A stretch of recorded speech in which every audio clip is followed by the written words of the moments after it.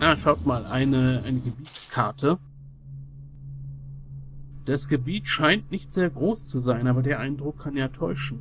Zum Hinterhof, Büro des Aufsehers. Was ich schon mal sagen kann, ist, dass es hier viele Wege gibt, die zum Ziel führen. Das ist ähm, ähnlich wie in Hitman.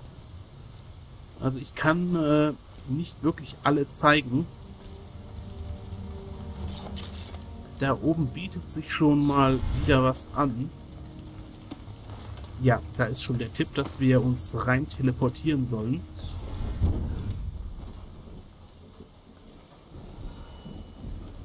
Und da sind wir auch schon drin. in den Archiven vom Zeichen des Ketzers. Es klang schmerzhaft. Haben Sie je das Ritual gesehen? Ich habe es niemals zur Anwendung kommen sehen. Nein, es ist sehr selten. Aber ich sah einst jemanden, der das Zeichen trug. Ein ehemaliges Mitglied unseres Ordens, versteht sich. Auf einer Klausur passierten wir ein Fischerdorf und da saß er, bettelnd. Was hatte er verbrochen? Wer weiß? Das Zeichen ist für einen Aufseher. Oder gar den Oberaufseher reserviert, der unsere Gesetze bricht und für immer ausgestoßen werden muss. Befolgen Sie die sieben Gebote und Sie müssen sich darüber keine Sorgen machen. Das werde ich, Bruder. Okay, durch diese Unterhaltung haben wir eine zusätzliche nicht tödliche Option bekommen. Das heißt, wir könnten Campbell auch nicht tödlich beseitigen, indem wir erstmal im Archiv nach den Informationen über das Zeichen des Ketzers suchen. Und ich denke, das werde ich auch machen. Ähm, ja, wir haben jetzt wieder zwei Runen. Das heißt, wir könnten irgendwas verbessern. Was würde uns denn momentan am meisten bringen? Ähm, Beherrschung ähm, bringt uns auf Stufe 1 nur die Kontrolle von Ratten oder Hexenfischen. Ähm, finde ich nicht wirklich so nützlich. Äh, Zeit verlangsamen. Ja, die erste Stufe ist auch nicht so sinnvoll. Wir könnten schon die zweite Stufe der Nachtsicht kaufen. Hm. Ich, äh, ich kaufe die Beweglichkeit. So, wir können höher springen. Das ist, glaube ich, gar nicht mal so verkehrt. Äh, mal kurz schauen. Der da geht da rein. Das heißt, es sind hier nur noch zwei von den Gesellen. Oder? Scheinbar schon. Ähm, Momentchen. Kommen wir da rüber? Nee, das ist ein bisschen zu weit. Aber wir kommen da auf die Lampe rauf. Und von hier kommen wir da hoch auf diesen Sims. Sehr schön. Ihr merkt, das äh, Teleportieren, die Ausbaustufe davon, ist sehr, sehr nützlich. Gut, hier ist nichts, aber da hinten sind äh, zwei Runen. Die möchte ich mir natürlich nicht entgehen lassen. Die ganzen Jungs hier können wir einfach stehen lassen.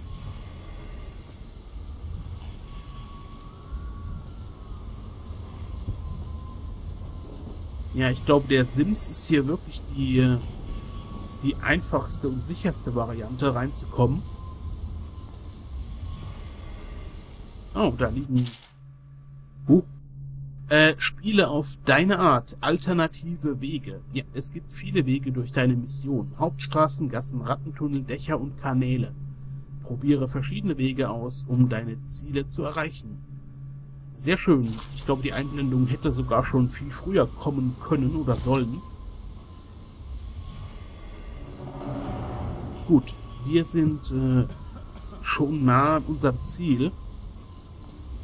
Wir hätten auch durch die Tür gehen können, durch die, die äh, der eine Aufseher da verschwunden ist. Und ich glaube, da unten kann man auch unterirdisch entlang gehen.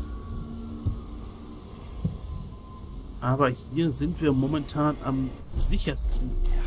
Ich gehe mal auf die Nachtsicht. Ihr seht, hier ist gut was los. Also am Boden haben wir nicht wirklich was zu suchen. Da stehen die Fenster offen.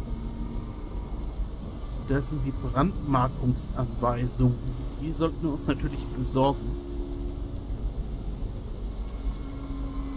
Da ist ein Aufseher. Das sind zwei Aufseher. Die sollten uns... Oh, drei. Ist da das Fenster... Nein, das Fenster ist nicht zu. Haben alles von oben bis unten untersucht und hatten nichts außer der Brühe zu essen, die wir gratis verteilen. Natürlich haben wir nichts gefunden. Habe ich dir erzählt, wie sich einer der Fensterläden im ersten Stock nicht schließen ließ? Und ich dachte, dadurch verschwinden zu können? Fand aber keinen Weg nach unten. Und als ich zurück wollte, hatte jemand das Fenster geschlossen. Verbrachte den Rest der Abriegelungszeit auf einem Sims. Vielleicht hat der Outsider dabei zugesehen. Okay. Ich würde gerne ein paar der Leutchen hier aus dem Spiel nehmen. Das heißt, wir müssen auf eine günstige Gelegenheit warten. Möglichst, wenn die sich gegenseitig nicht im Blick haben. Ich glaube, der da wäre ein gutes erstes Opfer. Der läuft weiter. Ich erneuere mal kurz die Nachtsicht. So, komm mal. Wow. Oh oh. Hat uns da jemand von hinten gesehen? Ich hoffe mal nicht. Ähm, ich trage den hier raus. Da ist die Chance am kleinsten, dass er gefunden wird. Ihr seht, die tragen Masken, die Jungs. So, den hätten wir erledigt. Das speichere ich direkt mal.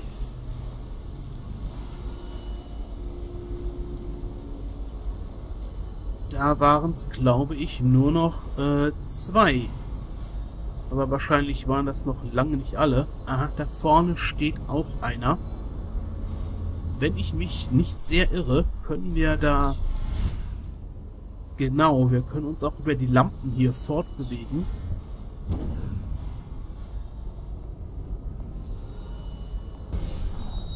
So. Dann könnten wir uns den auch noch schnappen.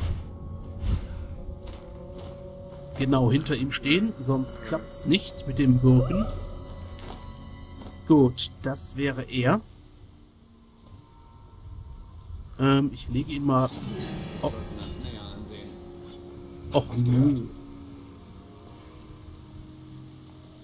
Hat der uns gesehen oder hat er was gehört? Du kannst dich nicht mehr lange verstecken.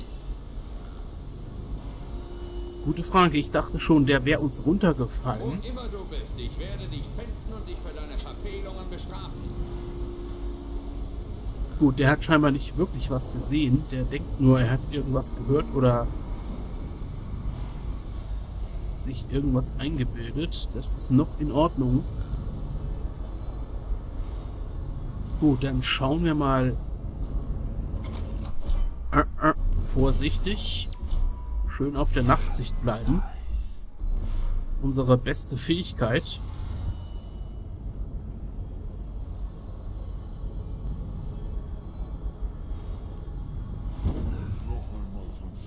Du kommst mit.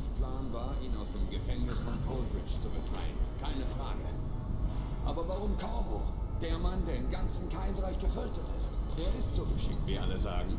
Er entkam mit der halben Wache auf seinen Fersen. Er hatte Hilfe, gewiss. Aber wie weit geht das? Der da oben führt zum Glück nur Selbstgespräche, wie es ausschaut. Den möchte ich mir eben auch mal schnell holen. Und dann haben wir die Lage hier ziemlich entschärft. Gut, du kannst äh, da liegen bleiben. Aha, Corvo Athanos Aktivitäten. Das scroll ich schnell durch. Denn da unten sehe ich noch einen laufen. Oh, da liegt eine Karte. Die stecke ich auch gerade mal ein. Da unten läuft noch ein Aufseher. Bevor wir uns hier gemütlich umschauen, möchte ich den auch noch kurz ausschalten. Wenn unser Glück anhält. So, du kommst mit. Auf unsere starken, starken Schultern. Und dann legen wir dich auch da irgendwo in die Bibliothek. Am besten hierhin. Äh, das zweite Gebot. Ich fürchte, hier wird es jede Menge Bücher geben.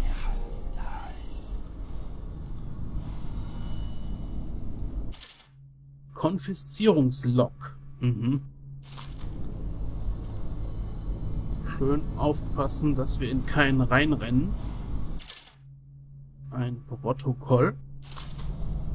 Und die Anweisungen über das Brandmarken von Ketzern. Das Zeichen des Ketzers ist für jene Aufseher reserviert, die zwar gegen die Ordnung verstoßen, dabei aber die Gesetze nicht gebrochen haben, was ansonsten mit einer Hinrichtung enden würde. Personen, die das Zeichen tragen, dürfen nicht angesprochen werden und weder Hilfe noch Unterkunft erhalten. Diese Personen sind des Weiteren nicht länger im Orden und bei dessen Verbündeten willkommen. Das Zeichen wird in die Stirn eingebrannt, damit jedermann die Sündhaftigkeit des Gebrandmarkten sehen kann. Die chemische Verbindung reagiert sofort und zeichnet den Ketzer für den Rest seines Lebens. Das Verhörzimmer im Büro des Oberaufsehers steht für das Brandmarkungsritual bereit. Aha, die zu brandmarkende Person muss im Verhörstuhl festgebunden und festgehalten werden, wenn das Zeichen eingebrannt wird. Das Zeichen des Ketzers wird im selben Raum aufbewahrt. Da haben wir also unsere Info. Und ich denke mal, das wäre für Campbell doch eine viel bessere Strafe, als ihn einfach mal eben kurz abzustechen.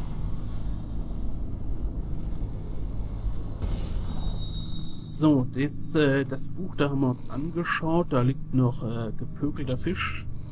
Da verzichte ich.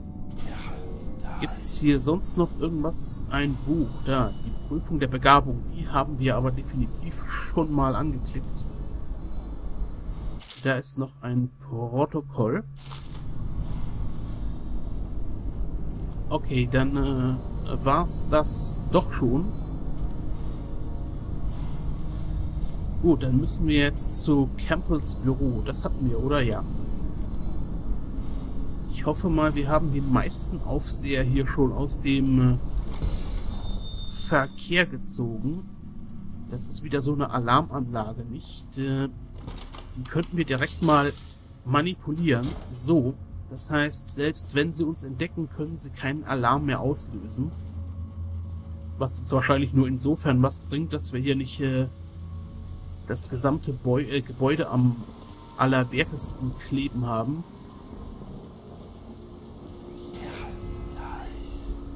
Gut, äh, ich glaube, wir kommen über den Sims. Ja, da ist das äh, Besprechungszimmer.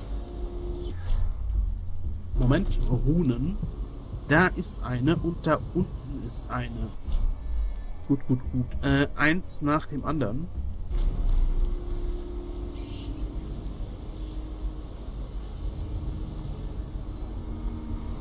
Okay, sieht sicher aus. Was haben wir denn da? Ah ja, wir hörten ja, er will Körno vergiften.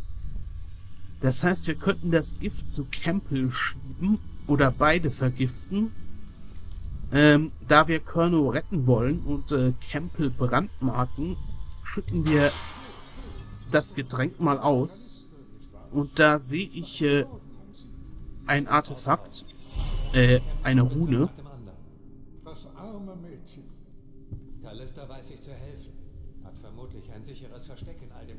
Die kommen scheinbar gerade. Ähm, ach du meine Güte, wir haben keine Betäubungsbolzen mehr. Stimmt, ich habe ja so verdammt viele in die Wand gejagt.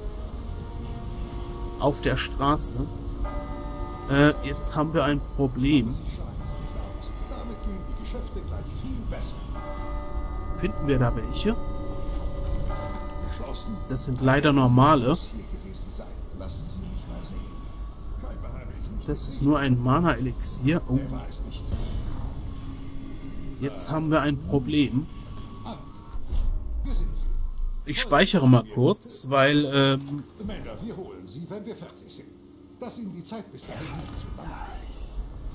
Das wird jetzt ein Ich weiß Problem, nicht, wie weil das alles so unschön geworden ist. Körno wird uns angreifen, wenn er uns sieht. Erst stirbt eine Hure und dann dies. Ein Wein, ein tyvianischer Roter. Danke. Was zum... Wer war hier? Entschuldigen Sie, Hauptmann. Ich hatte einen gastlicheren Empfang für Sie geplant. Tja, dann nehmen auch die Architektur. Was war das, Campbell? Schon gut. Sie haben Glück, Hauptmann. Ich muss den wirklich guten Jahrgang öffnen. Lassen Sie Ihre Leute hier, sonst müssen wir mit Ihnen teilen. Nun gut, Campbell. Wenn wir unsere Meinungsverschiedenheit damit beenden können.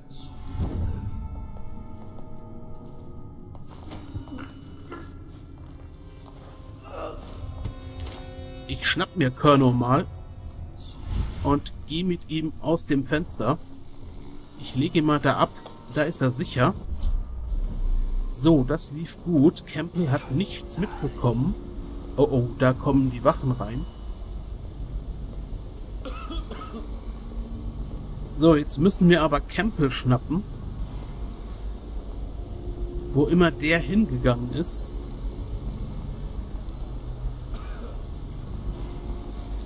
Patrouillieren jetzt also da. Äh, ist Campbell bei der... Nee, Campbell ist nicht bei der Rune. Verdammt. Jetzt haben wir diese beiden Wachen da rumlaufen. Das freut mich natürlich überhaupt nicht. Äh, da steht auch noch eine Wache. Möchte ich gerne ausschalten. Oh, oh, da kommt jemand zurück. Wenn die sich getrennt haben, dann umso besser.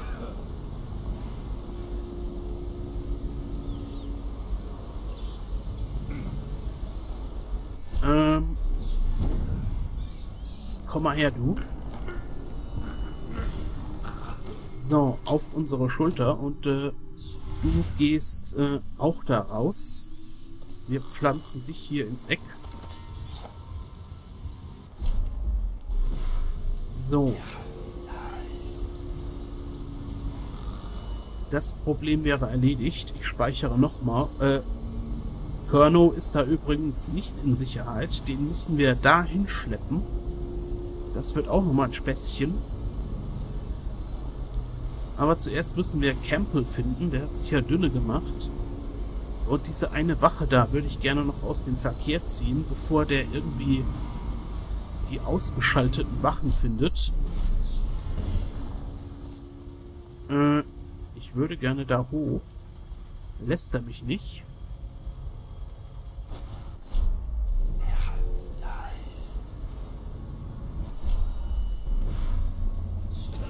Na komm, hoch mit uns.